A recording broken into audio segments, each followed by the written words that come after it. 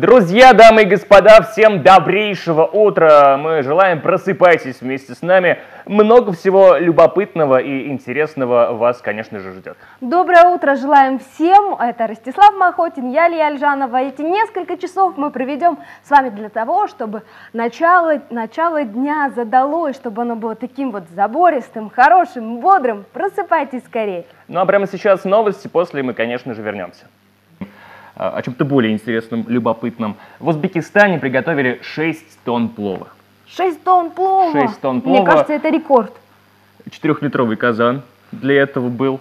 И все очень неплохо. Не это, конечно же, такой. вполне возможно, что рекорд, но это лишь э, подготовка к полноценному официальному достижению книги рекордов Гиннесса. О, вот такие рекорды я очень люблю. Вкусные рекорды. Повезло же тем счастливчикам, которые сейчас находятся там и могут пробовать рекорд на вкус. Это так же вот, здорово. попытка установить этот самый официальный рекорд состоится 8 сентября, э, как раз таки. Так что, если вы э, будете там проездом, можно посетить, вас бесплатно накормят. Ну что ж, дорогие телезрители, прямо сейчас мы предлагаем накормить себя самостоятельно, а именно приготовить завтрак а, своими руками. Вот, и следующий рецепт прямо сейчас перед вами. Доброе утро! Сегодня мы будем с вами готовить салат с запеченным баклажаном. Для этого нам понадобится помидоры, огурцы, болгарский перец, лист салата, лук красный, запеченный баклажан сам, маслины, ну и получается заправка его оливковое масло, бальзамический уксус, также фитакска. Приготовление салата мы начнем с нарезки овощей. Берем болгарский перец, нарезаем его. Чтобы салат был красивым, мы используем болгарский перец разных цветов. И огурец. Ну и, конечно, красный лук.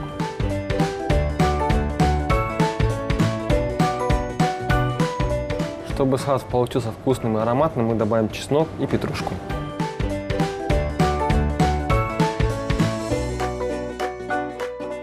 Теперь баклажан. Я его заранее запек при 200 градусов на 10 минут жар и заранее очистил.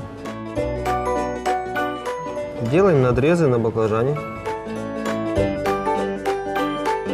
И чтобы придать баклажану аромат, мы его чуть поперчим и посолим. Теперь выкладываем баклажан на тарелку. И к нашему салату, к овощам добавим маслины. Их нарезаем пополам. Заправка салата у нас бальзамический уксус белый. Оливковое масло и слегка соевый соус. Не забываем добавить соль и перец. Теперь берем фитаксу и смазываем баклажан. Дальше, размешав салат, выкладываем его на порционную тарелку.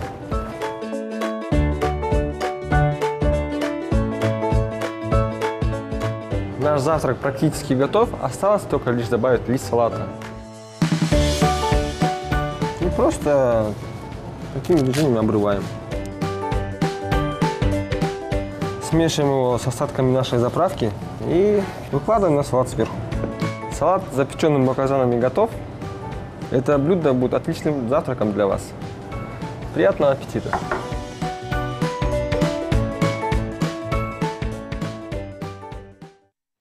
Всем, что сегодня четверг, 24 августа, и данный день в календаре ознаменован очень многими важными событиями, интересными открытиями и изобретениями. Начну с того, что, к примеру, в 1542 году а, испанский кон конкистадор Франциско де Орельяно открыл устье Амазонии. И вот, кстати, Амазонки.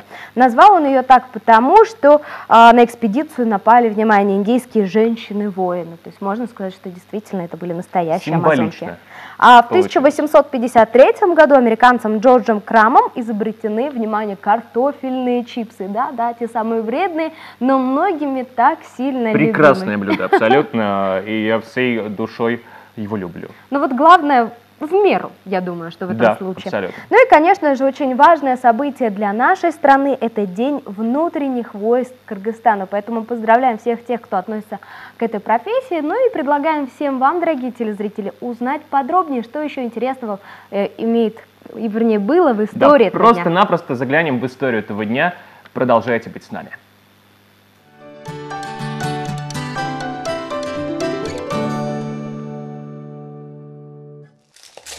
24 августа 1935 года в городе Фрунзе родился Эрнест Турсунов, народный поэт Кыргызской республики, драматург, переводчик. Его первый поэтический сборник «Цветы» был издан в 1956 году. Позже были написаны ряд пьес «Красавицы», «Правда уступает, но не прощает», «Замандаш», «Байтик Батыр» и другие. Также Турсунов перевел на кыргызский язык роман Евгения Онегин Александра Пушкина поэму «Кому на Руси жить хорошо» Николая Некрасова и другие произведения. В этот день, в 1941 году, поэты и писатели обратились к представителям научной и творческой интеллигенции республики с открытым письмом – в котором говорилось о необходимости сплотиться и трудиться ради победы. Уже в первые дни после этого обращения крестьянами на фронт было отправлено 5 миллионов пуда зерна, 2,7 миллионов пуда картофеля и овощей, 2,8 миллионов пуда мяса и других сельскохозяйственных продуктов. 24 августа 1964 года в городе Узген Ожской области родился Салиджан Шарипов, космонавт, герой Кыргызской республики и Российской Федерации. В 1990 году Шарипова отобрали в отряд советских космонавтов – он прошел полный курс подготовки к полетам в качестве командира корабля. В январе 1998 года Салиджан Шарипов совершил свой первый полет на космическом корабле продолжительностью 8 дней, 19 часов 46 минут 54 секунды. Второй космический полет он совершил в 2004 году в качестве командира космического корабля. В этой экспедиции Шарипов совершил два выхода в открытый космос. За успешное осуществление космических полетов космонавт был удостоен высоких правительственных наград Российской Федерации, Кыргызстана, Узбекистана и Таджикистана. В этот день, в 2013 году, кыргызстанский теннисист Даниар Дулдаев стал победителем международного турнира, который проходил в Турции.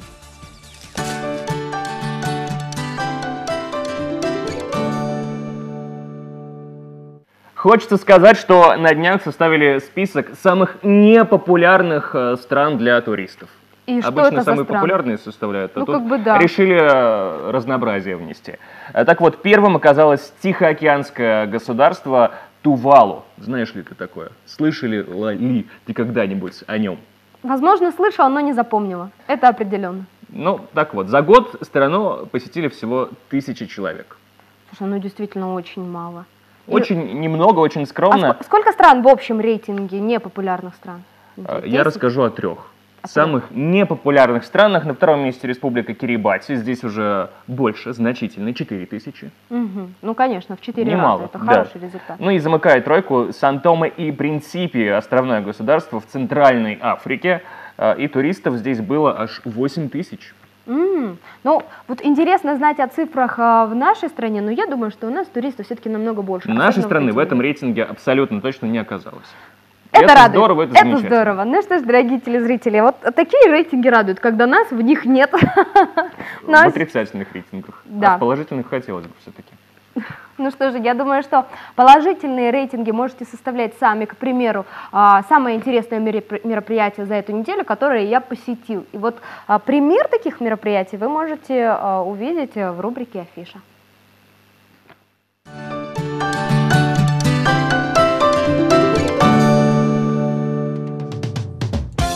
В выставочном зале Союза художников Кыргызской Республики «Дубовый парк» имени Семена Афанасьевича Чуйкова проходит выставка «За красной линией». Проект посвящается годовщине трагической гибели 17 молодых работниц в крупном пожаре на складе московской типографии 27 августа прошлого года. Инсталляция и видео «За красной линией» – первая попытка такими средствами рассказать об этой трагедии. Кыргызском национальном музее изобразительных искусств имени Гапара Айтеева проходит выставка «Декоративно-прикладное искусство России. Авторские работы. 20-21 века». Выставка показывает лучшие авторские произведения из фондов Всероссийского музея декоративно-прикладного и народного искусства Москвы, а также произведения ныне работающих знаменитых мастеров прикладного искусства. С 21 по 25 августа в кинотеатре «Голубой Исцикуль» города Чолпоната в рамках недели российского кино состоятся показы фильмов «Анна Каренина. История Вронского», «Дама Пик», «Частная пионерская 3», «Монах и бес», «Ледокол». На арене Кыргызского государственного цирка шоу гигантских фонтанов. Три стихии в одном манеже – земля, вода и огонь программе бурые медведи, канадские лайки, обезьяны, кошки, воздушные гимнасты, акробаты, канатоходцы, иллюзионисты, клоуны и тысяча фонтанов. С 24 по 26 августа в манеже Института физкультуры пройдет третья выставка товаров стран шелкового пути будут представлены мебельная продукция, морепродукты, стеклянная посуда, сельскохозяйственная продукция, продукция по производству источников энергии, мини-кары и грузовые машины. 26 августа в Большом зале Кыргызской национальной консерватории имени Калыя Молдобасанова состоится сольный концерт именитого музыканта Гийома Перес Квера. Пять столетий гитарной испанской музыки. Вход свободный.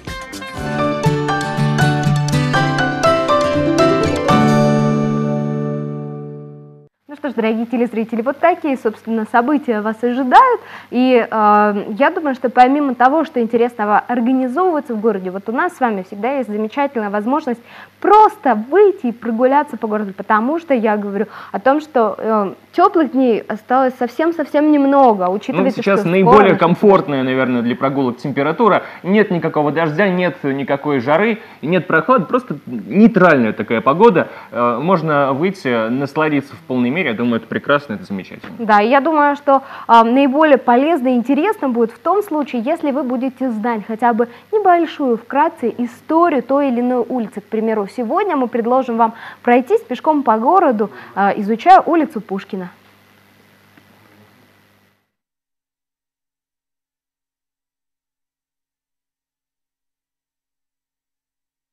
Есть у нас в городе улица в честь великого русского поэта Александра Сергеевича Пушкина.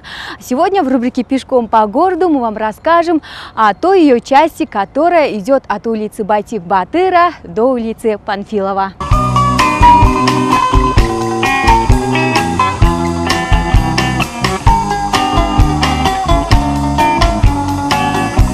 Проходит она мимо памятника монумента борцам революции по южной стороне Дубового парка. Мимо памятника Хурманджандатки на ней нет жилых домов. Есть бывший дом Союза писателей, здание исторического музея. Также на ней расположен протянувшийся на целый квартал каскад фонтанов с цветниками.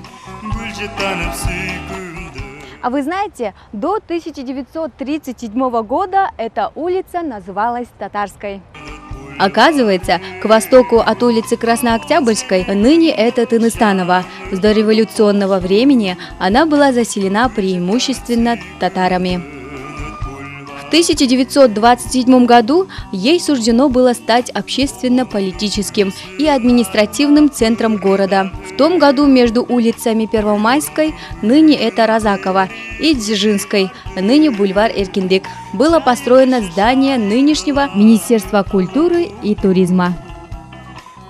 Это здание было построено в 1927 году для Совнаркома, то есть Совет народных комиссаров Кир Киргизской АССР.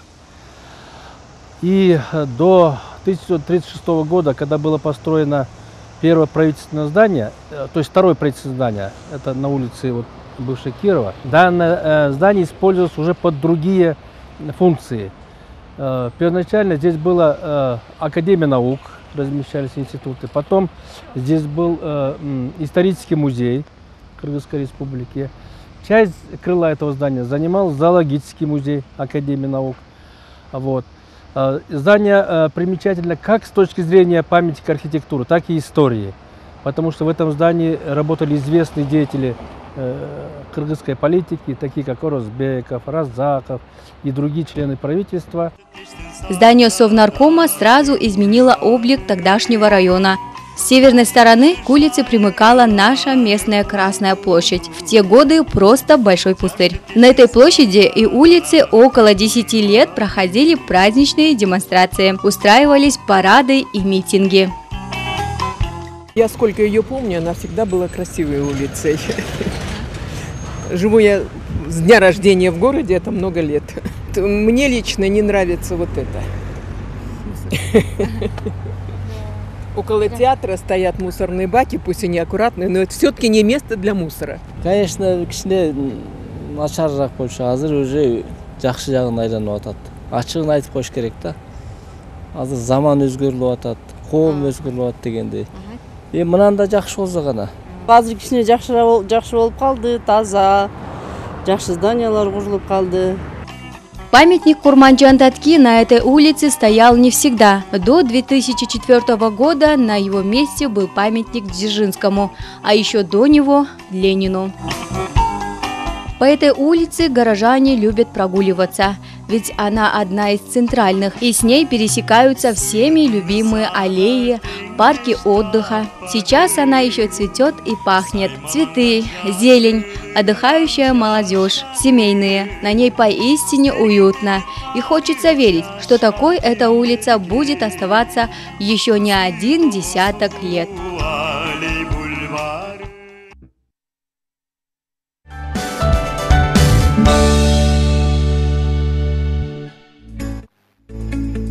Сегодня в программе педиатры скорой медицинской помощи теперь в новой веселой униформе. Когда приходим, они настороженно. Но потом, видя наши вот эти глазки, наши дельфины, начинают, особенно дети, которые до двух, до трех лет, начинают что-то смотреть, разбираться, что-то это самое. Счастье быть матерью – это то чувство, которое нельзя сравнить ни с одним другим ощущением. Бэби-бокс – что это такое? Лайфхаки с горячим клеем. Экспериментируйте вместе с нами.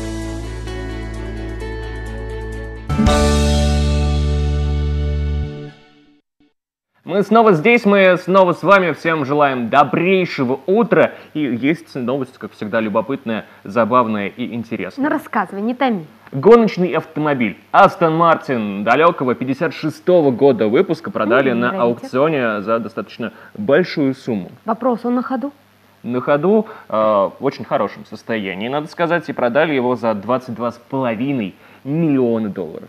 Слушай, ну на, такое, на такую сумму очень много можно купить. Целый автопарк, я могу сказать, можно купить. Да, немало автомобилей, немало недвижимости можно купить, но э, кто-то предпочел вот именно такой вот ретро-автомобиль. Э, и в итоге эта машина стала самым э, дорогим автомобилем британского именно производства. Э, Предыдущий рекорд тоже принадлежал автомобилю этой марки, э, но стоил он аж на миллион дешевле. Мгм, Ну, целый миллион разницы, я думаю, это действительно Ну вот год прошел и вырос в цене еще на миллион. Вот мне интересно, тот, кто купил эту машину, будет ли он разъезжать по улицам э, города? Мне на кажется, эта машина не для этого абсолютно. Просто ты вышел в гараж, смотришь на нее, созерцаешь, и тебе хорошо. Ты приглашаешь гостей в гараж, да, теперь уже, чтобы посмотреть на машину. Ну, это же целое произведение искусства, потому что 56-й год в хорошем состоянии. Это прям э, можно окунуться в то время. Ну, я думаю, а, действительно, на такой машине даже жалко будет разъезжать по улицам города, тем более, если вы не очень аккуратный водитель. Сейчас мы предлагаем а, всех обратить внимание на а, то, что существует в городе. У нас очень такие интересные, лежачие полицейские, так да, скажем, так специально задуманные. –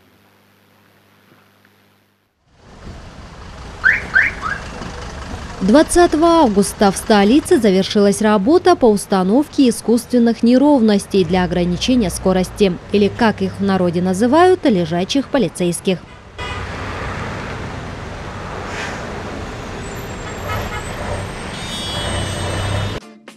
Сто искусственных неровностей установлены возле средних школ и детских садов прямо на пешеходных переходах.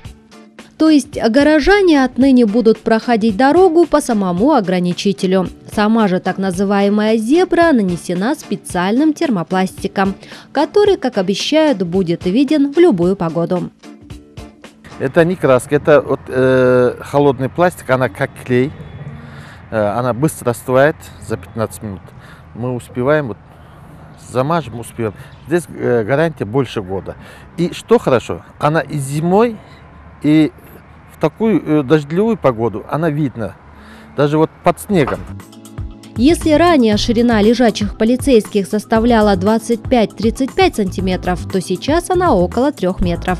Высота новых неровностей 7 сантиметров, в то время как старые были выше почти в два раза. Именно это, как оказалось, и создавало немало хлопот водителям транспортных средств. Прошлой зимой из-за обильных снегопадов их даже пришлось демонтировать. Нынешние же установлены по европейским стандартам. Это европейский стандарт, и это практикуется в Америке, и в России, вот, и в Казахстане. Это стандарт, евразийский стандарт наш. Она э, в ширину от 3 метров, э, высота 7 сантиметров. На мой взгляд, они лучшие, так как шире и ниже, а значит зимой не будет проблем. Они в высоте дело, высоту про пролетают, а ширину уже не пролетишь. Ходовка повыскакивает.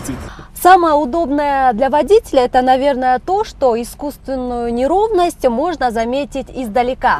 А это значит, если вы даже не увидели дорожный знак, то точно нажмете на тормоза. Заметив лежачего полицейского, чтобы не нанести урон своему автомобилю. Также возле 97 школ и 74 детских садов установлены дорожные знаки «Внимание! Школа» размером 90 на 90 сантиметров. На них нанесена высокоинтенсивная светоотражающая пленка, отвечающая ГОСТу, который действует на территории СНГ. Высокосветоотражающий. Он и ночью, и днем вот отражается светом. И э, э, вот, внимание, человек, любого человека, он максимально внимание, внимание обращает, вот этот цвет. И э, вот маска из Германии, остальное самое мы все производим. Этот знак тоже гарантия 10 лет. Вот, и вот стойка, и этот полностью гарантия 10 лет. Если говорить о цене на установку одного такого знака, затрачено 4000 сомов, а цена одного квадратного метра лежачего полицейского составила 630 сомов. Анара Бешикева, Тимур Ходемджаров, студия Замана все большую и большую популярность набирает э, необычные, вернее, давать, э, традиция давать необычные имена своим детям во всем мире. И вот я знаю, что о, в Кыргызстане, ну, вот раньше была такая традиция, э, когда ребенок родился, и отец выходит из юрты, и первое, что он так. видит, так и называет ребенка. Вот увидел ложку, так и называет. Ну, это, конечно, так, в общих чертах. Примерно такое же, э, такая же ситуация случилась и в Соединенных Штатах Америки. Родители, чья дочь родилась в полное солнечное затмение, так и решили назвать свою дочь Затмение. Ну, а на английском Любопытное языке... имя. Как на английском языке на английском? это звучит намного красивее, лучше. Не затмение, а эклипс. Эклипс. Эклипс.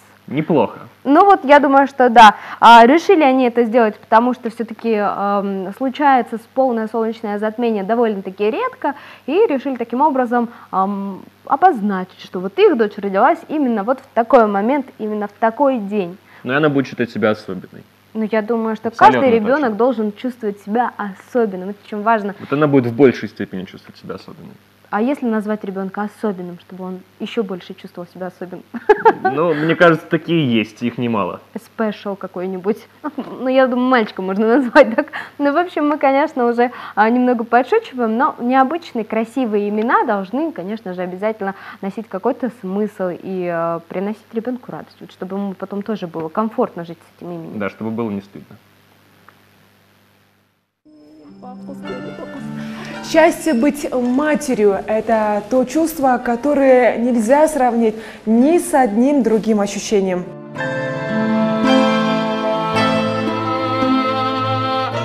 Но, к сожалению, не все женщины готовы к таким переменам в своей жизни.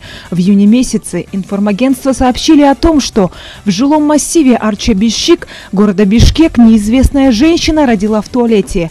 Бросив младенца в выгребную яму, она скрылась. Местные жители, к счастью, успели спасти новорожденную девочку – вытащив ее из туалетной ямы. До приезда врачей они самостоятельно обрезали пуповину и помыли ребенка. А милиция по сей день ищет бросившую ребенка женщину. Как только я ее достал, она тут же заплакала. Потом мы вызвали милицию и скорую помощь. После выхода информации об этом факте в социальных сетях многие пользователи начали бурно обсуждать очередной случай с брошенным новорожденным. Пользователи сходились во мнениях, что лучше, чем оставлять новорожденного на верную погибель, можно было не допускать его рождения вообще.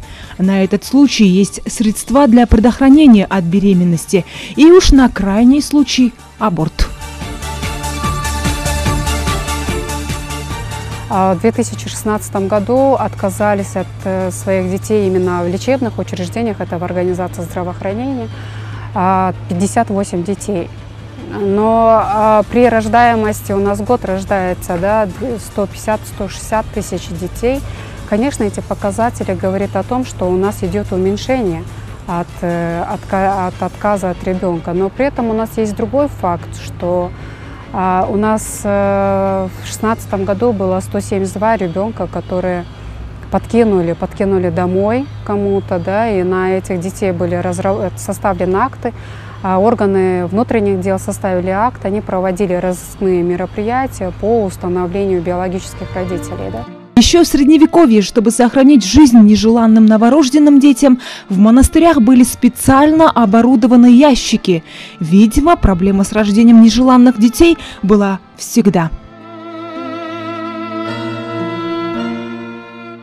Так называемые бэйби-боксы или окно жизни сегодня активно используют в европейских странах. Бокс представляет собой специально оборудованное окошко на первом этаже медицинского учреждения – Через окно можно положить ребенка в кровать-колыбель, которая находится с внутренней стороны здания. После чего дверца заблокируется, и снаружи ее уже будет невозможно открыть. Около бэйби-бокса нет видеокамер и охраны, так как многие женщины боятся общественного осуждения и хотят сохранить анонимность. Об оставленном младенце сотрудники медицинского учреждения узнают по тревожному звонку и миганию лампы. В Кыргызстане подобных боксов нет.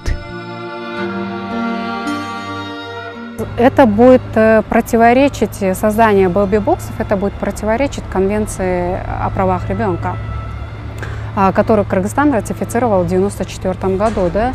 И согласно конвенции, конвенция говорит о том, что право ребенка – это жить и воспитываться в семье. И каждый ребенок, даже если в случае того, что он отказался, да, он передан на усыновление под опеку, он должен знать своих биологических родителей. Сагынбю Абдувалиева, зав. отделением патологии новорожденных детей Национального центра охраны материнства и детства, уверена в том, что бэйби-бокс – это запасной выход, и он всегда должен быть. Возможно, в какой-то момент он спасет малышу жизнь, Прежде всего, говорит она, мы ориентируем женщину на то, чтобы она отказалась от шага, делающего ее ребенка сиротой.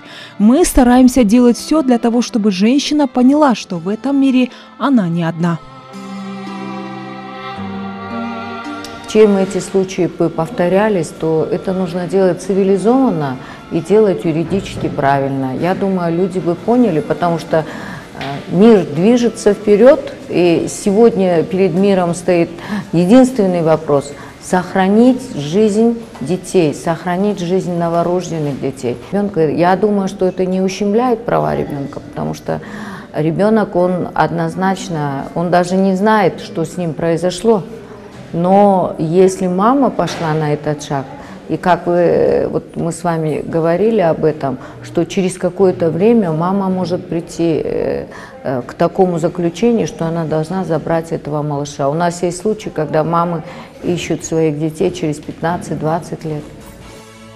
По Уголовному кодексу Кыргызской республики убийство матерью новорожденного ребенка во время или сразу же после родов, а равно убийство матерью новорожденного ребенка в условиях психотравмирующей ситуации или в состоянии психического расстройства, не исключающего вменяемости, наказывается лишением свободы на срок до трех лет. Вопрос о установке бэйби-бокса в Кыргызстане поднимался периодически. В последний раз его обсуждали в 2015 году. Сторонники этого метода сохранения жизни новорожденным так и не договорились с его противниками. По словам депутата Джогорху Кенеша Кыргызской республики Аиды Касымалиевой, к проблеме социального сиротства нужно подойти комплексно. Когда говорим о бэйби-боксах, э, мы должны учитывать, что на самом деле мы говорим о последствиях а нужно говорить о причинах.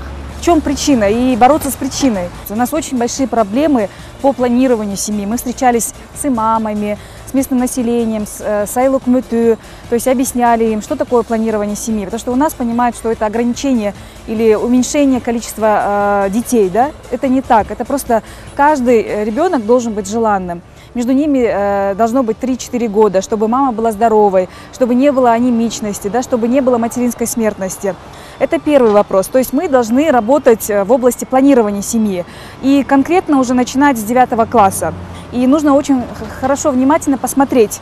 Вот э, мож, говорят иман сабагы, я бы сказала, есть другой урок, и там уже нужно очень аккуратно говорить, как человек должен относиться к своему телу, как он должен готовиться к семье и к отношениям. Да?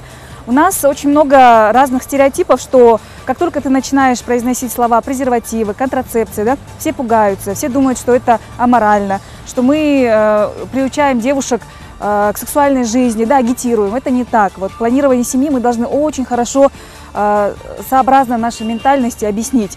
Конечно, бэйби-бокс – это не лучшее решение социальных проблем, а всего лишь один из инструментов.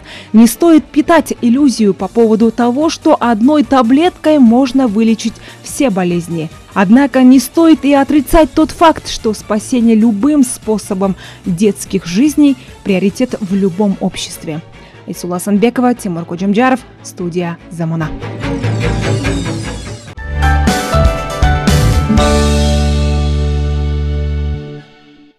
Друзья, дамы и господа, ни для кого не секрет, что наступает осень, для кого-то это не самая приятная новость, но тем не менее это факт, и это время, конечно же, всяческих э, вирусов, инфекций и так далее, и мы поговорим о том, как их избежать. Да, и особенно это такое опасное время для детей.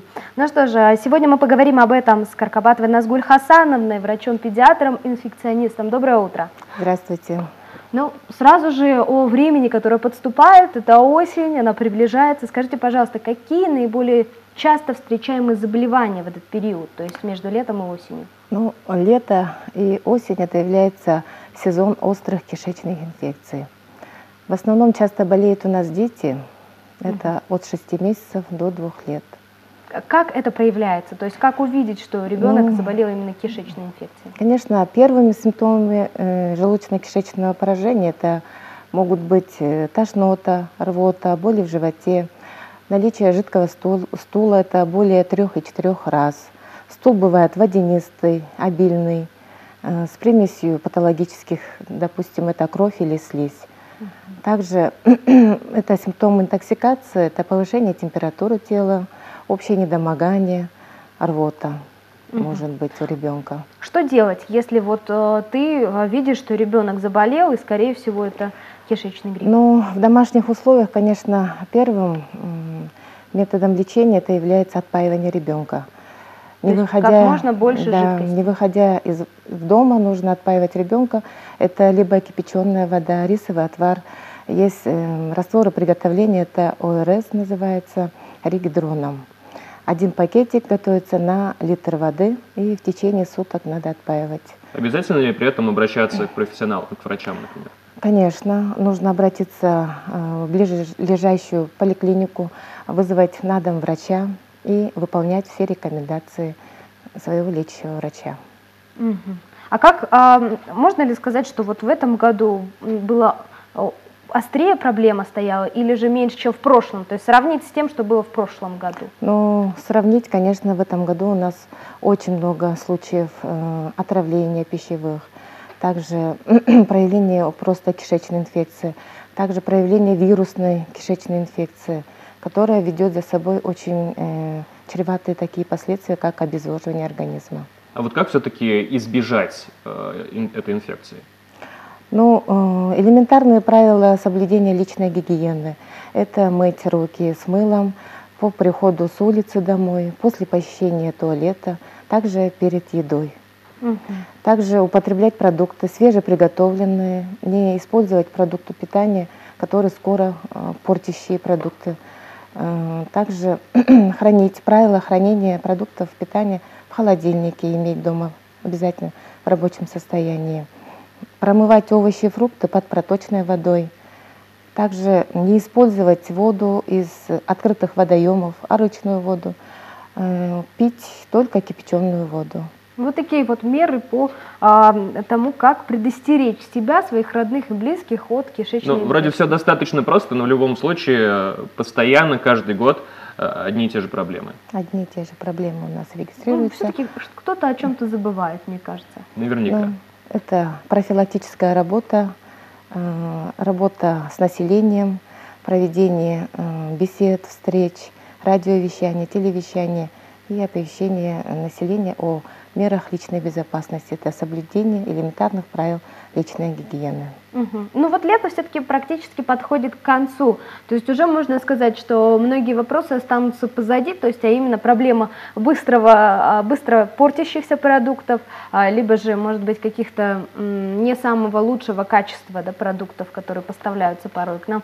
И а, наступает осень, то есть это уже другой период и уже другое заболевание. Правильно я понимаю? Правильно.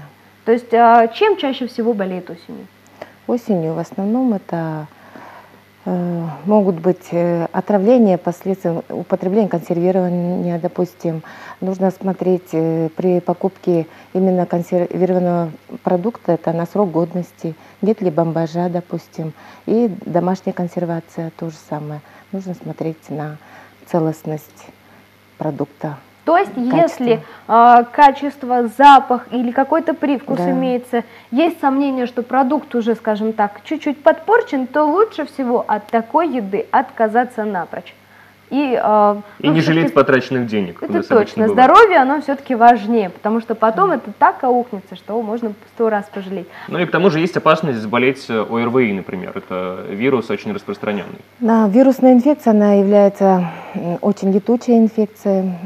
Значит, пути передачи этой инфекции – это воздушно-капельный путь и контактно-тесный, контактно-бытовой путь передачи. Uh -huh. Ну, в основном тоже у нас болеют дети. Меры профилактики – это вообще ограничение мест э, посещения, где скученность большая. Также в период эпидсезона воздержаться от поездок, допустим, в общественном транспорте. И также соблюдение правил личной гигиены. Это не тереть грязными руками нос, глаза, э, чтобы не усугублять э, ситуацию. Да. Еще я знаю, что если вы чувствуете, что начинает поступать вот это заболевание, лучше всего носить маски. Хотя вот есть все-таки люди, которые категорически против этих масок, считают, что если носить маску, то вирусы снова возвращаются к тебе, и ты как бы э, делаешь круговорот вот этих вирусов и не э, излечиваешься от болезни. Можно сказать про ну, эту маску? Что да, это? ну вообще масочный режим у нас, э, допустим, в эпидсезон, это правильно. Э, ну, нужно правильно, конечно, воспользоваться этими масками. В течение каждые 4 часа мы должны менять масочки. И если, ну, конечно, в домашних условиях мы их что делаем? Э, чаще стираем и проглаживаем. Спасибо вам большое за такие рекомендации. Я думаю, что всем нашим зрителям они будут полезны. Ну что ж, дорогие телезрители, и снова всем доброго утра, отличного настроения. Я надеюсь, что даже самые-самые Соня уже проснулись и к нам присоединились. Ну а в Китае тем временем э, появился суперкомпьютер, который способен э, диагностировать 100 пациентов за 5 секунд. Как быстро, слушайте. Но это, конечно... Неимоверно быстро. Э, он максимально точно анализирует медицинские карты, анализы, ставит диагнозы и даже подсказывает наиболее успешные в перспективе методы лечения. И есть еще одно уточнение. Как говорят, э, компьютер ставит диагнозы на 20% точнее, чем люди-медики. Слушай, ну а это может означать то, что со временем мы будем диагностироваться при помощи компьютеров и уже не будем ходить к терапевтам, скажем так? Ну, вполне вероятно, потому что уже есть такая вот инициатива, но врачи все равно нужны. Врачи, конечно, куда без них. Но не надо ж... лишать их работы. Да, это точно. Особенно, когда она необходима в экстренных ситуациях. Прямо сейчас сюжет о скорой медицинской помощи.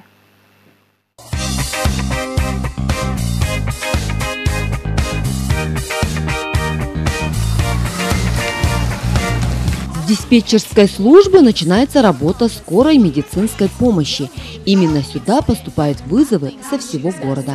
Принимают тревожные звонки дежурные диспетчеры, которые передают вызов бригадам врачей неотложной помощи. Вызовов бывает за сутки 650, 600, 700. День на день не приходится, это от нас не зависит, это от населения как вызывают скорую.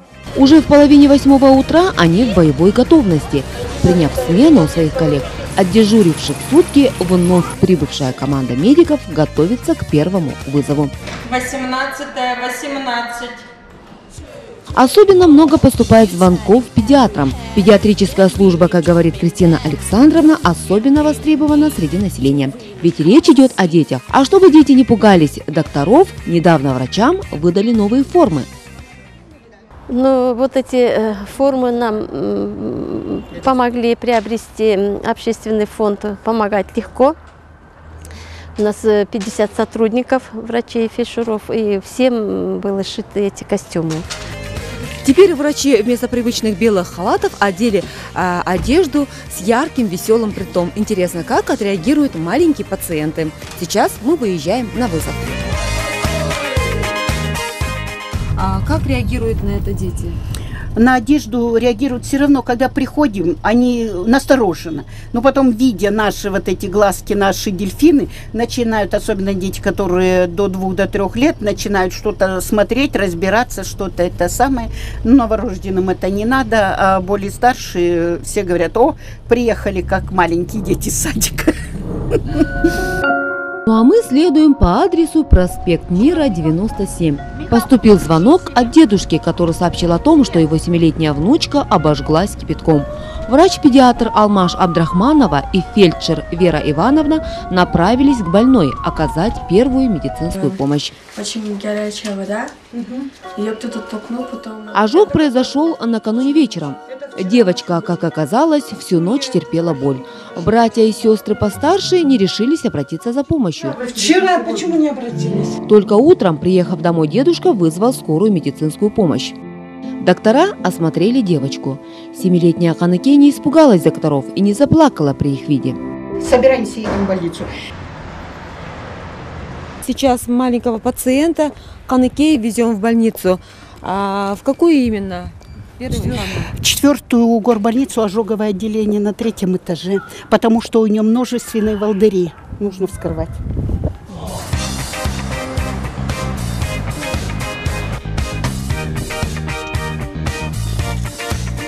Мы пожелаем Ханакей скорейшего выздоровления, а бригаде медиков терпения, ведь их ждет следующий пациент.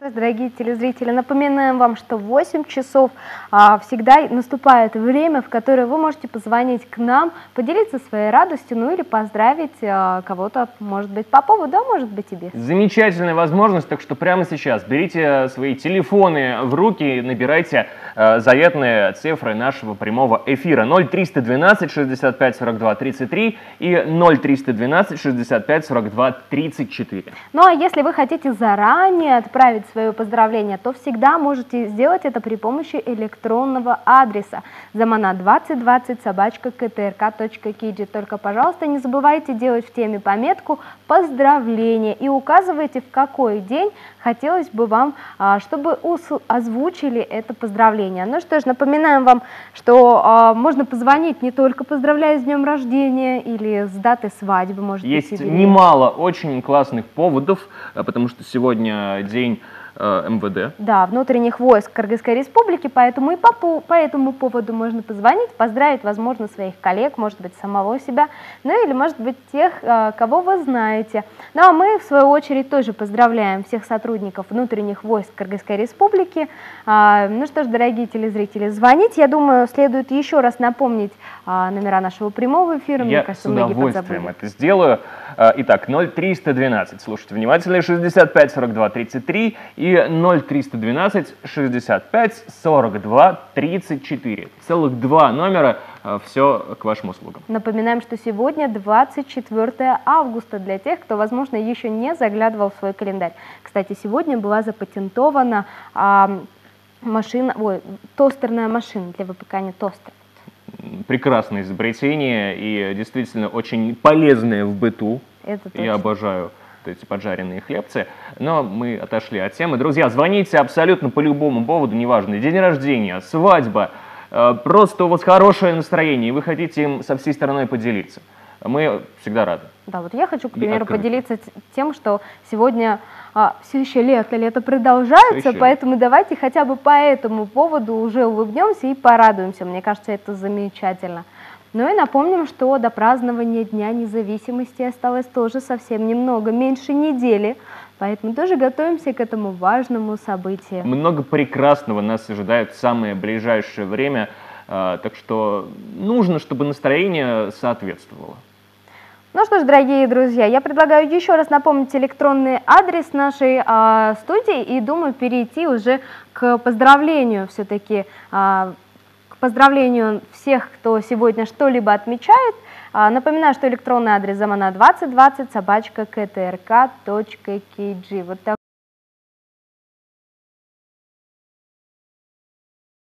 Мы продолжаем, и а, так как скоро наступает заветно, возможно, для кого-то, а для кого-то нелюбимое время, это школьная пора, но вот я по окончании, честно говоря, школы очень скучаю по тем временам, потому что все-таки они были такими очень веселыми, интересными. А раньше казалось, что вот бы быстрее повзрослеть, а сейчас думаю, жаль, что нельзя вернуться в прошлое. Ну, я думаю, что многие сейчас находятся в предвкушении, кто-то не самым приятным, но тем не менее, школа это прекрасная пора, и э, нужно в полной мере этой порой наслаждаться. Да, и важно позаботиться не только о том, какие знания получит ваш ребенок, но и, конечно, о том, какое питание будет у ребенка в школе. В канун нового учебного года, кроме покупки школьных принадлежностей, ремонта классов и прочих вопросов, многие задумываются о школьном меню.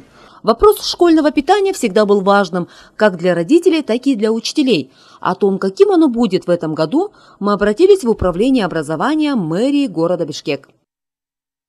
В настоящее время утвержденное меню э, Управления образования, согласованное с ГСН города Бишкек, оно э, представляет собой набор блюд, в которые входят хлебобулочные изделия, это будет пирожок, булочка и напиток. И три раза в день мы еще подаем детям кашу. Эм, из расчета 14 сом. Сами расчеты утверждаются ежегодно Бишкекским городским кинешем. И у нас появилась возможность с позапрошлого года, с 2015 года, увеличить в два раза сумму для питания детей в вспомогательных школах города Бишкек. У нас всего три школы, обучается там более 500 детей, и расчет составляет там 28 сум э, из расчета на человека. Напомним, что несколько лет тому назад в Кыргызстане был успешно запущен пилотный проект по организации школьного питания. Со всех регионов нашей республики были отобраны более 100 школ с низким уровнем продовольственной безопасности. Положительные результаты пилотного проекта по оптимизации школьного питания оценили руководители муниципалитета и продолжили внедрять в столичных школах улучшенные модели питания, которые позволяют предоставлять детям младших классов расширенное меню. Уже сейчас в пилотных школах запущены пищеблоки для свежей выпечки и организации горячего питания. Вот сейчас мы входим в пищеблок. Пищеблок тоже полностью оборудован. И вот здесь вот расположен холодильник. А далее вот это вот э, специальный стол с дубовым покрытием. Это разделочный стол. Здесь вот они булочки разделывают. Э, все это взвешивается. У нас вот есть обязательно э, весы, все предусмотрено. И линия, разда... вообще все, все оборудование, оно поставлено именно вот правильно рассчитано, оно правильно представлено.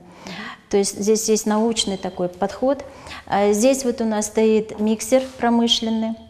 А далее вот везде проведена вода, потому что канализация полностью заменена. Здесь вот у нас находится тестомес. Вот, и, вот тестомес, тесто промесилось, потом она поступает на разделочный стол. А, далее это плита. Здесь вот у нас специальный шкаф, тоже нам это поставили. А это расстоечный шкаф, то есть булочки разделываются, потом они стоят под расстоечным, в расстоечном шкафу. Безусловно, хочется, чтобы во всех школах дети питались полноценно, вкусно и сытно, ведь от питания зависит развитие ребенка. Поэтому мы вернемся к вопросу школьного питания и узнаем мнение учеников относительно школьной еды, как только начнется учебный год. Китайский бизнесмен взял и накормил 5000 человек э, лапшой абсолютно бесплатно. Какой молодец, хочется И все это в ответ на добро, которое ему сделали. А какое Сейчас добро все расскажу. Дело в том, что предприниматель э, приехал в китайский город Чунцин, чтобы сделать предложение своей девушке. Угу. Он купил кольцо с алмазом, э, весом 3 карата за 300 тысяч юаней, я подсчитал, это примерно 3,5 миллиона сомов. Ох. Очень дорогое кольцо. Очень дорогое кольцо, а он взял и забыл его в лапшичной. А, Но мир не без добрых людей.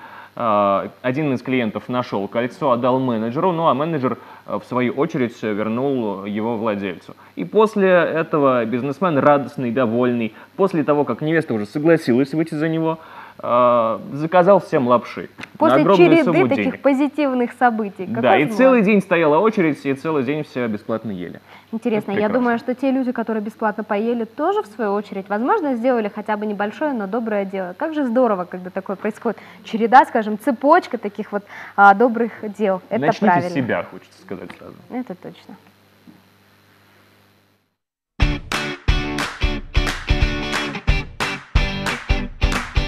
В мире существует столько идей, столько советов для того, чтобы упростить себе жизнь. Век технологий и прогресса, к счастью, позволяет нам делиться своими идеями друг с другом. Сегодня будем показывать простейшие лайфхаки с жидким клеем. Поехали!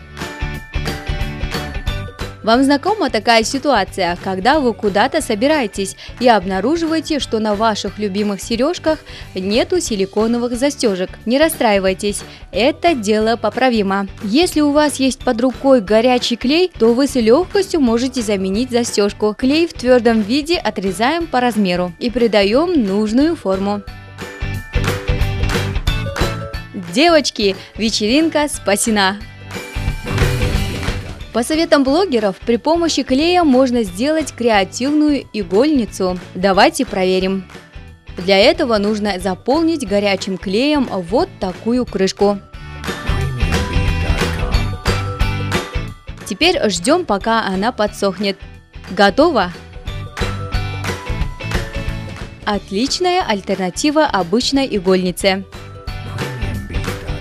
Следующий лайфхак больше подходит для мужской половины. Если у вас сломался резак, то вам опять же придет на помощь горячий клей. Сделайте так, как показано на этом видео.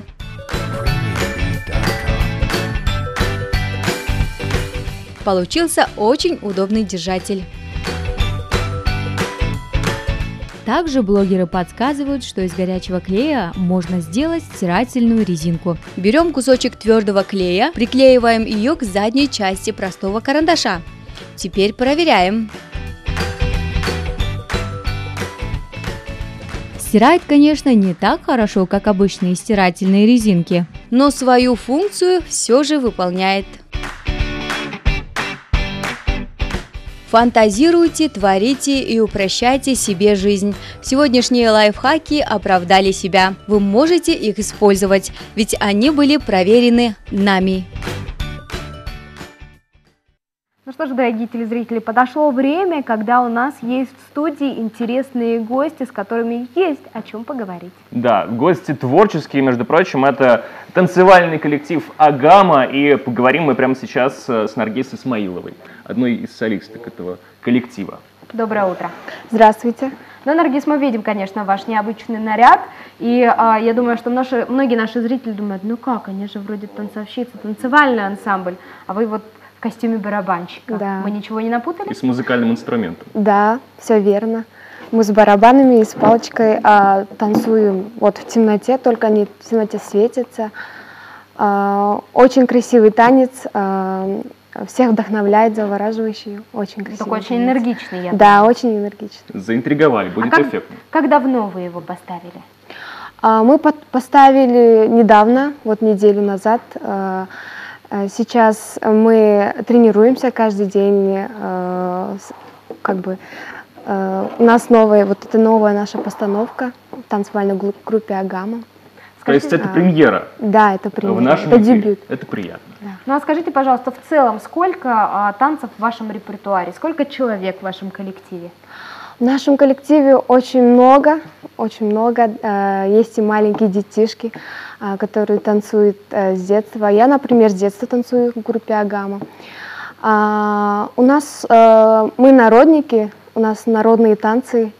В основном танцуем э, восточный, уйгурский, узбекский, русский танец и наш кыргызский с- традициональный. традициональный. Ну вот Да. все-таки являясь а, ансамблем, который преимущественно выступает да, в таком а, направлении, это народные танцы, как вы решились ам, вот взять такой танец?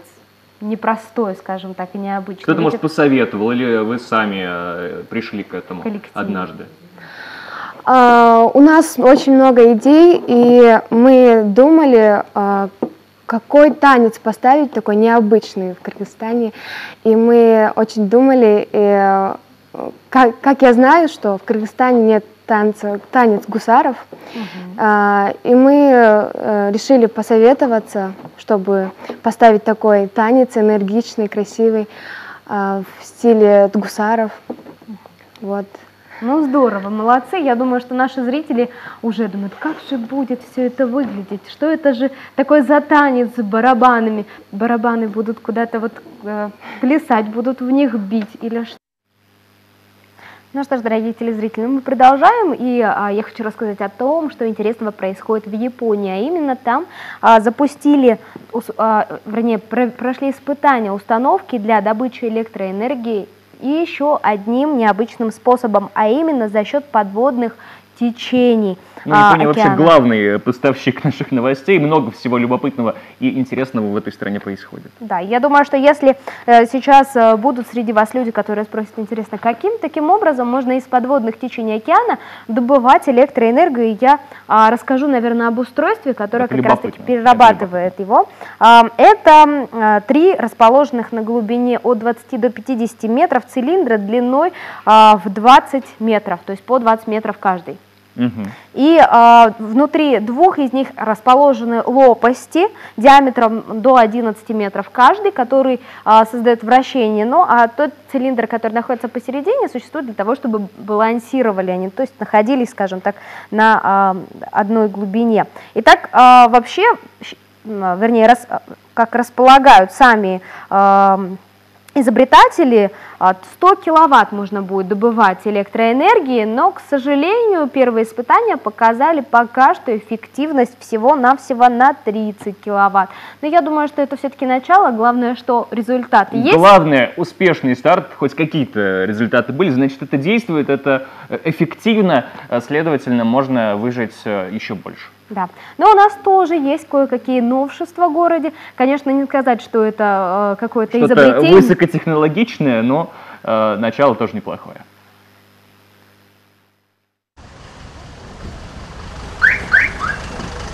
20 августа в столице завершилась работа по установке искусственных неровностей для ограничения скорости, или как их в народе называют, лежачих полицейских.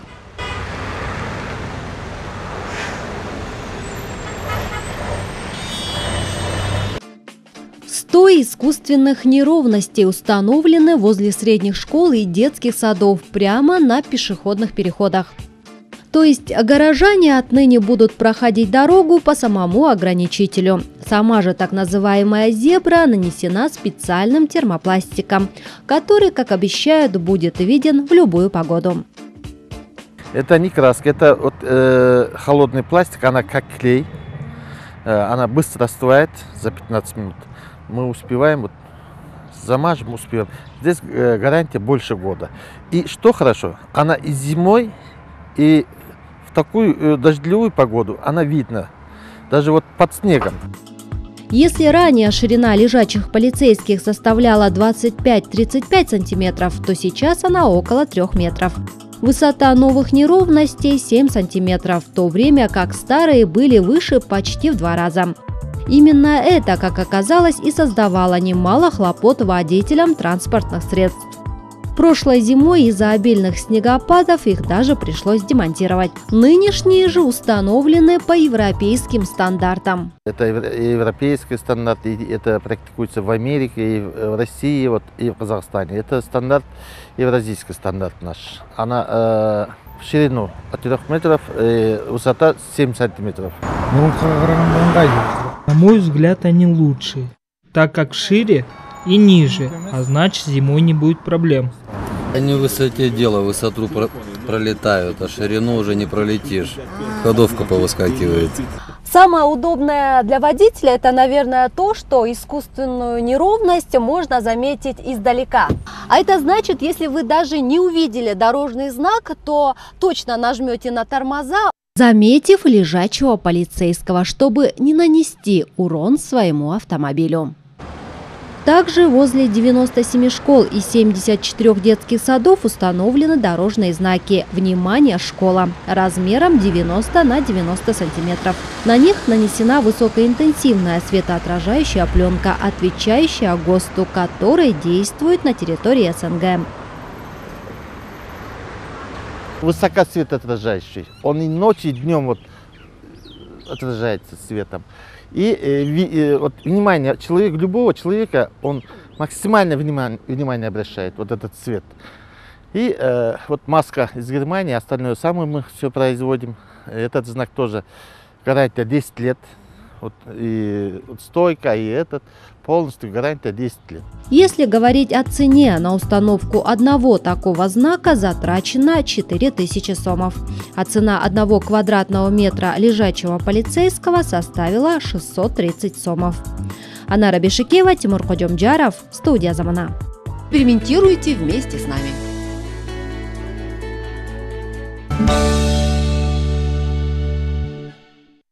Ну что ж, дорогие телезрители, напоминаем вам, что сегодня 24 августа, четверг, и хочется сказать, что сегодня еще у нас, э, вернее, прямо сейчас у нас в студии гости очень интересные. Я думаю, что э, их победы вдохновляют. Да, с большим удовольствием их представлю. Кенджибек Чекиров, президент Федерации грэплинга в Кыргызской Республике.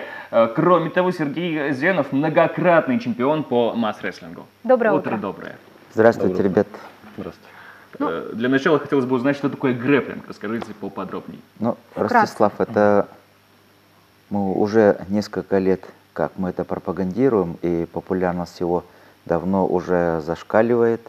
И поэтому, наверное, в двух словах можем сказать, что э, грэплинг это совмещающие все борцовские дисциплины, э, вольной, греко-римской, самбо, дзюдо, джиу-джитсу, да, э, дающие право, возможности, правила бороться всем данным видам единоборств.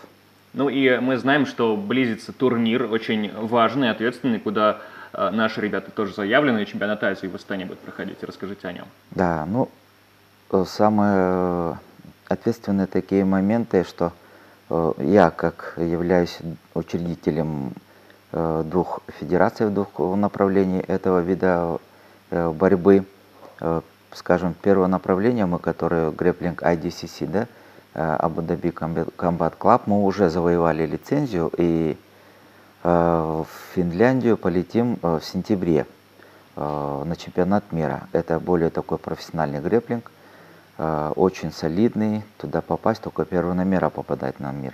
И там выступает на финалах, как мы известно, бойцы известных промоушенов, как Беллатор, UFC – а вторая федерация, которая более спортивная, более такая э, любительская, скажем, гребник направления, мы э, сейчас на стадии подготовки, и вот числа 30 августа, буквально на носу, мы заканчиваем тренировочные сборы. по этой дисциплине по борьбе, мы уже, ребята поедут, сборная команда в Астана на чемпионат Азии. По итогам 2-3 сентября будет в Астане чемпионат Азии по универсальной борьбе. И по итогам данных чемпионатов дальше в октябре будет в Азербайджане, в Баку, чемпионат мира по данной дисциплине. Какие ну, у вас вот... все-таки, может быть, ожидания от наших спортсменов? Э, есть ли шансы, хотелось бы спросить прежде всего. Э, ну и как вы сами оцениваете готовность и как продвигается подготовка? Ну, я, наверное, не открою Америку, э, что скажу, что спортсмены, так же, как и люди все, мы являемся более суеверными. Я бы не хотел бы заниматься таким прогнозом, потому что мы уже, наша федерация в Кыргызстане, мы уже полноценными являемся членами, конкурентами на мировых коврах. И думаю, ковер покажет. Но я знаю, что а, из-за рубежа наших спортсменов действительно очень хорошо знают, а некоторые даже побаиваются. Но мне хотелось бы все-таки узнать, сколько а, человек отправится на соревнования, которые состоятся в Астане? Есть ли а, уже список? Да, потому что мы перед тем, согласно календарному плану, мы все двигаемся поэтапно, и утвержденно мы э, внутри республики и э, согласовано с международными федерациями. Э, на данный чемпионат едут 16 человек и двое девушек. Угу, даже девушки Да, девушки борются, потому что у нас э, по правилам международных требований и должно быть гендерное равенство – есть уже полноценные девушки, которые завоевали здесь чемпионаты республики по универсальной борьбе и поедут бороться двое девушек. И э, мы еще, я параллельно всегда стараюсь готовить не только тренерский состав, и судейский корпус. Поэтому двое судей поедут на азиатский турнир в качестве э, судейского состава.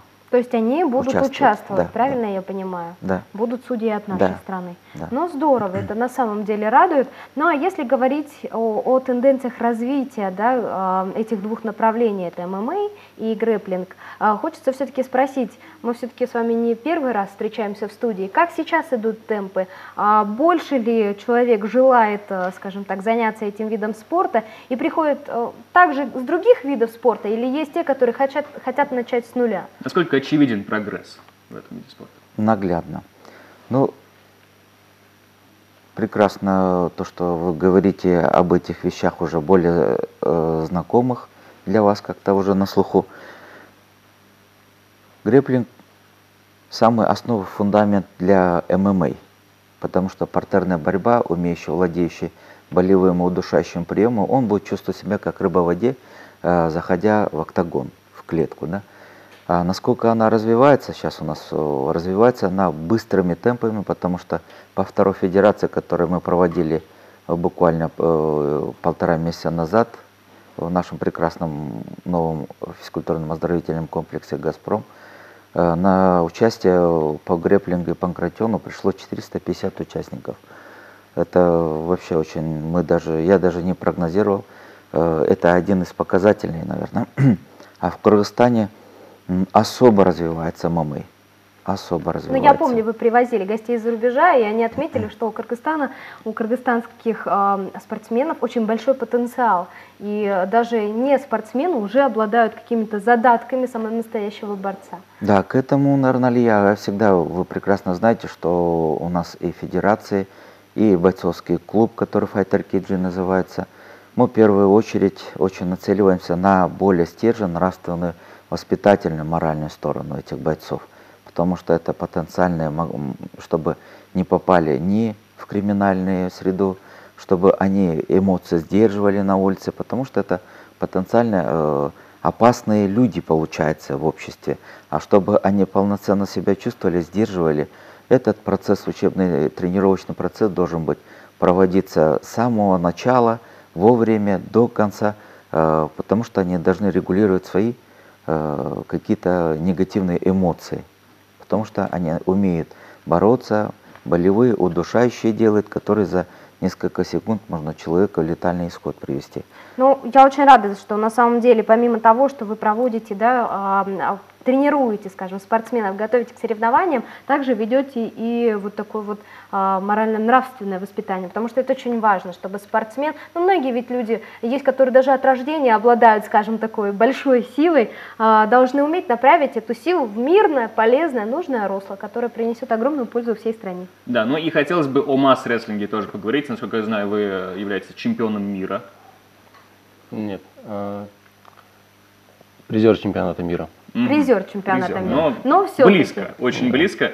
Бы спросить, как вы вообще пришли к этому виду спорта? Я знаю, что вы очень разносторонний спортсмен. Ну, мне всегда нравилась борьба. Э, Как бы это начинал я с боевого самбо, потом попал в руки Кинчбека Кагая и начал заниматься уже греплингом и боями. Вот. Ну, потом пришло время, что ну, я для себя как бы мне нач... нужно было выбирать работа, там что-то еще. И я ушел в пауэрлифтинг.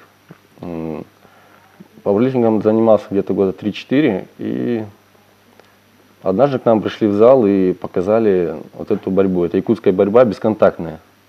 То есть два соперника сидят э, друг напротив друга, им дают э, палочку э, 50 сантиметров, диаметр так, вроде 5 или 10 сантиметров. Вот.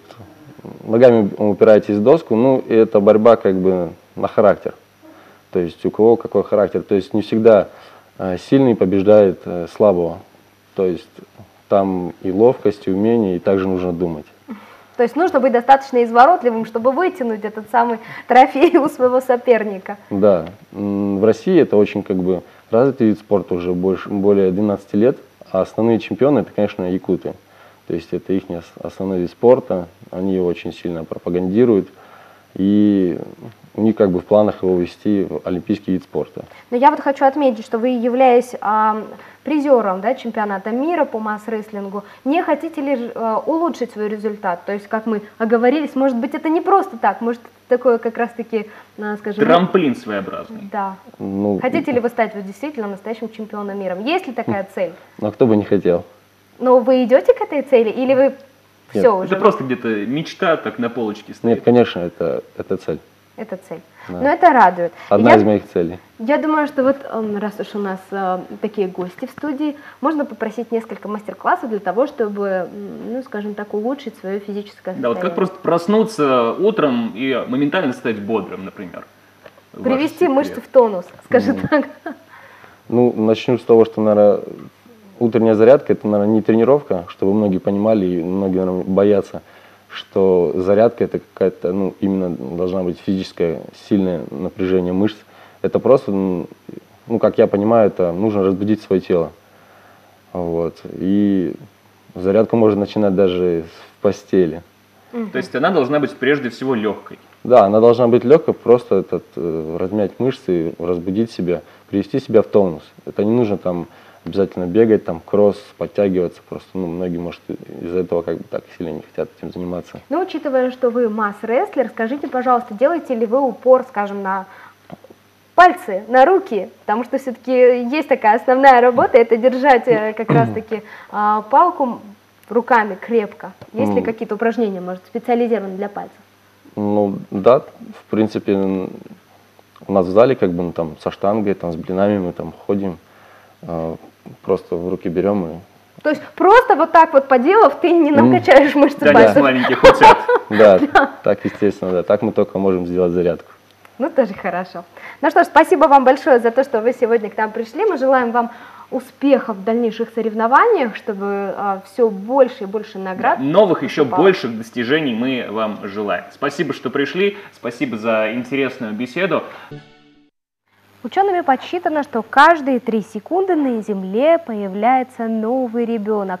Но, к сожалению, не каждому ребенку рады. И а, в связи с этим появляются новые меры по тому, как а, решить данный вопрос. Поэтому тема сейчас будет очень серьезная. Вопрос темы бэби-бокса. Что же это такое?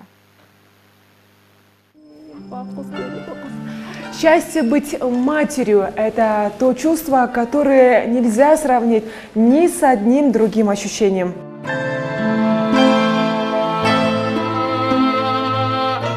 Но, к сожалению, не все женщины готовы к таким переменам в своей жизни.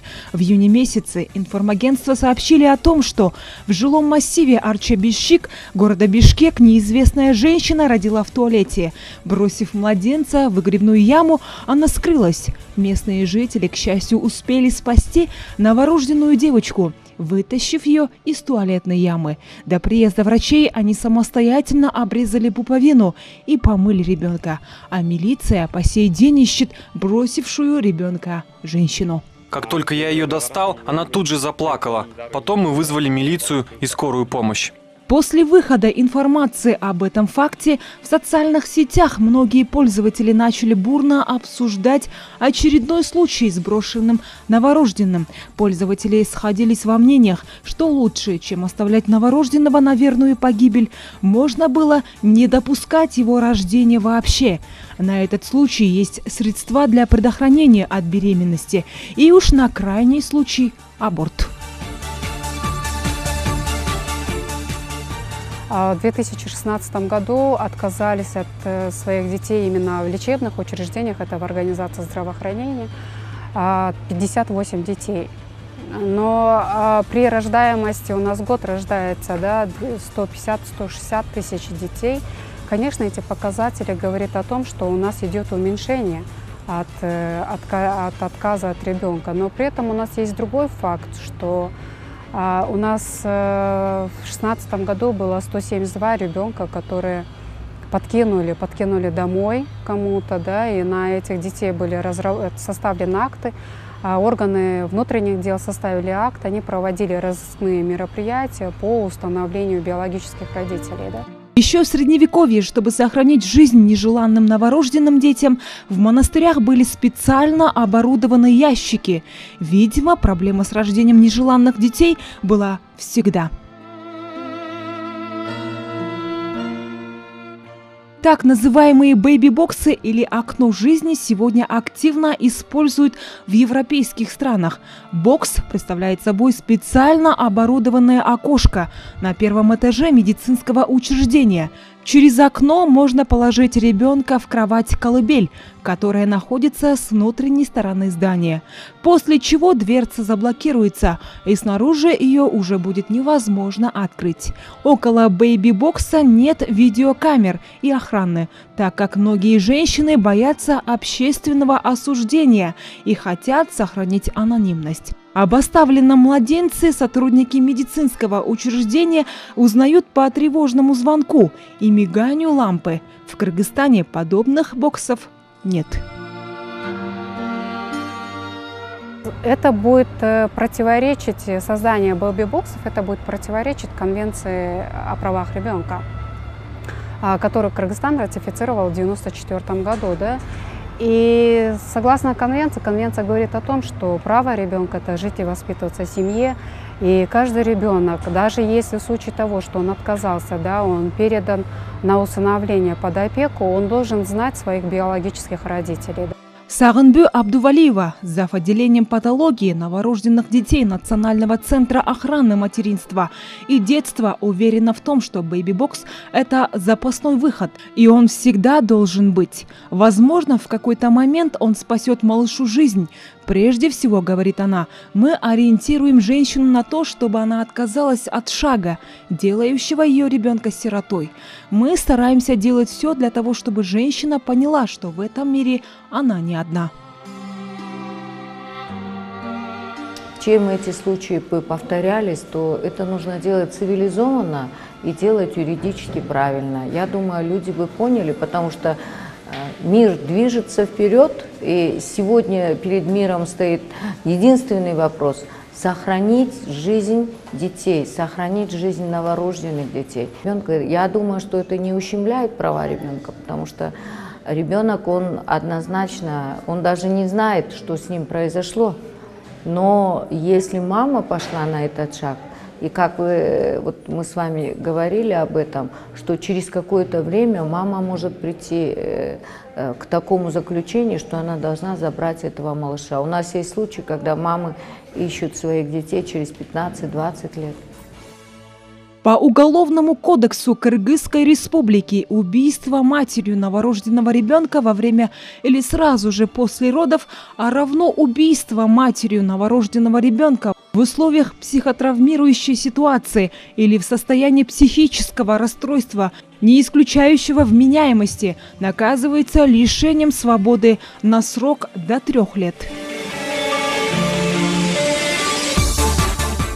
Вопрос о установке бэйби-бокса в Кыргызстане поднимался периодически. В последний раз его обсуждали в 2015 году. Сторонники этого метода сохранения жизни новорожденным так и не договорились с его противниками. По словам депутата Джогорху Кенеша Кыргызской республики Аиды Касымалиевой, к проблеме социального сиротства нужно подойти комплексно. Когда говорим о бэйби-боксах, э, мы должны учитывать, что на самом деле мы говорим о последствиях а нужно говорить о причинах.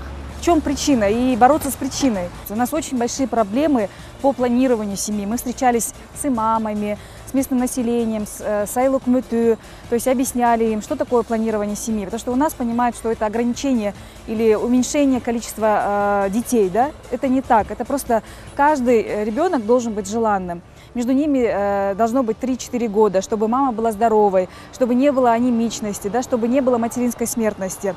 Это первый вопрос. То есть мы должны работать э, в области планирования семьи и конкретно уже начинать с 9 класса. И нужно очень хорошо, внимательно посмотреть. Вот э, мож, говорят иман сабагы, я бы сказала, есть другой урок, и там уже нужно очень аккуратно говорить, как человек должен относиться к своему телу, как он должен готовиться к семье и к отношениям. Да? У нас очень много разных стереотипов, что как только ты начинаешь произносить слова презервативы, контрацепция, да, все пугаются, все думают, что это аморально, что мы э, приучаем девушек э, к сексуальной жизни, да, агитируем. Это не так. Вот планирование семьи мы должны очень хорошо, э, сообразно нашей ментальности объяснить. Конечно, бэйби-бокс – это не лучшее решение социальных проблем, а всего лишь один из инструментов. Не стоит питать иллюзию по поводу того, что одной таблеткой можно вылечить все болезни. Однако не стоит и отрицать тот факт, что спасение любым способом детских жизней – приоритет в любом обществе. Исула Санбекова, Тимур Куджамджаров, студия «Замуна».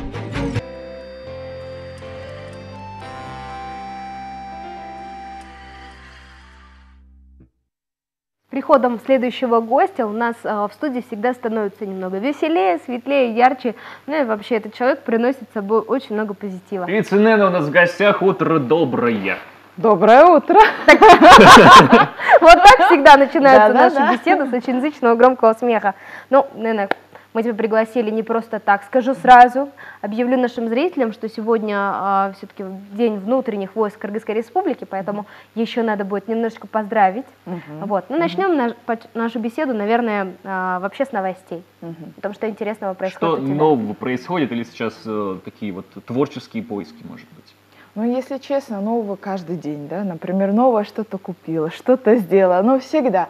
А, новые песни, новые идеи, новые клипы, ну, ну, конечно же, это все так протяжно, со временем, потому что, а, мое мнение, в год надо один или одну или две песни выпустить, это, по-моему, мне кажется, самый такой максимум. А, и тщательно работаем, а, что еще нового?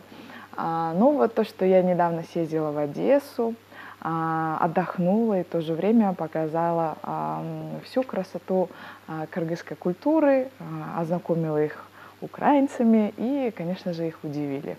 Вот. И потом уже приглашения поступили в Грузию, а, еще поедем куда-то, ну, как-то так. Ну, ты так вскользь рассказала о да, поездке в Одессу, как, как будто, ну, так, совсем ну, ненадолго так. проезжая, но хочется все-таки узнать, что звучало, что было, мы так понимаем, что ты, скорее всего, пела песни, ну, какие конечно. это были песни?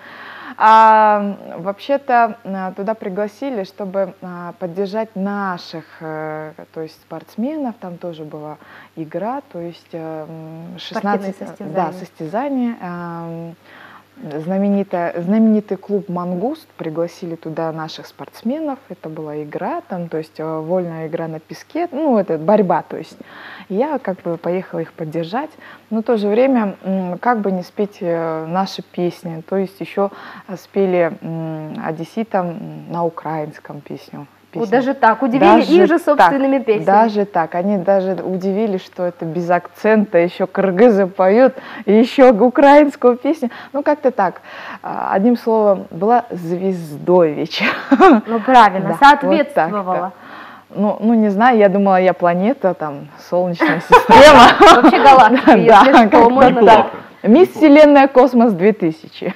Как-то так. А можешь спеть нам на украинском сейчас? Без проблем. А задача? Ну, хорошо.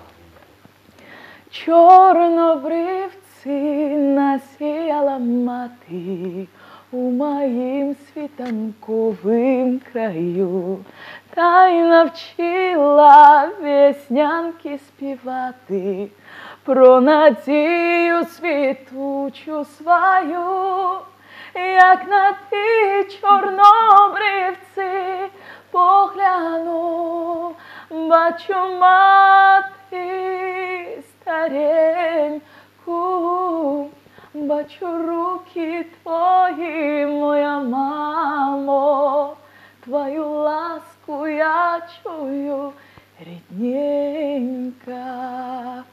Очень душевно получилось, надо очень сказать, очень песня. здорово. Спасибо. Ну, а что касается дальнейших планов, куда пригласили? Ну, пригласили очень много приглашений поступило в сторону а, Грузии, а, есть еще конкурс в Армении, ну я это еще думаю. А, ну, очень много приглашений. Ну, надеюсь, мы это все осуществим.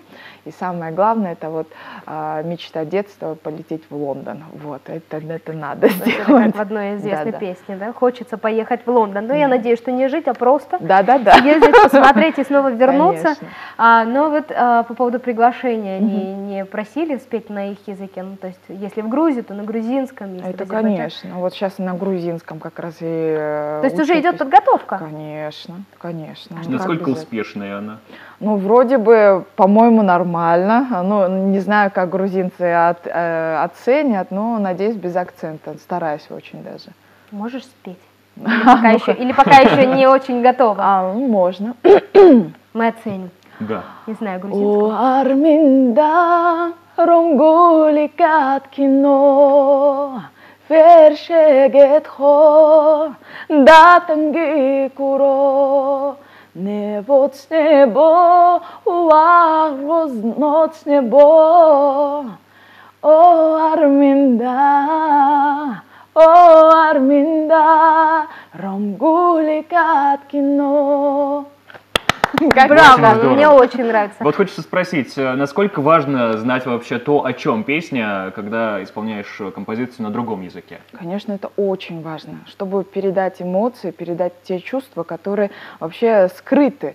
То есть а, песня о Арминда, это вот знаменитого а, певца Дато, это его песня. Мы, конечно, знаем а, русский вариант. Ну, песня, как расстаются два сердца, жить без друг друга не могут, но в то же время там такие красивые слова. И когда это звучит на грузинском, я просто таю, как говорится. Как самые настоящие грузины. Хачапуры. Как-то так. А вот на украинском это тоже было, это про цветы. А, сами они мне перевели, я думала, это про а, какой-то город, про что-то.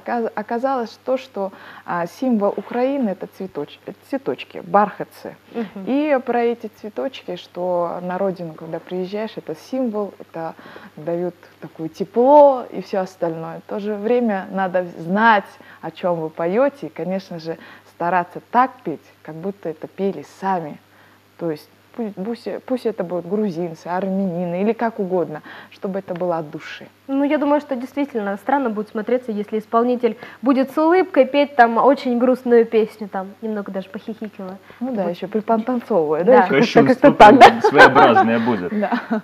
Ну, а что ж, вот такие вот планы у Нены, угу. очень такие серьезные. Угу. А Лондон есть какие-то, может быть, даты? Или пока это план, это цель? А, ну, э, пока что это новый проект, который запустили э, на общественном Первом канале. То есть это будет программа English Show. Я там участницей являюсь. Мгм.